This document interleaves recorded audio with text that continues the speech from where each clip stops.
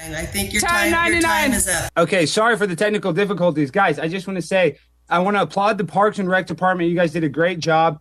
Uh, recently at Bachman Lake, there were some glory holes have been filled, so a lot of the transients at nights have been using the bathrooms less. Point of personal privilege, Mr. President. I'd like to speak.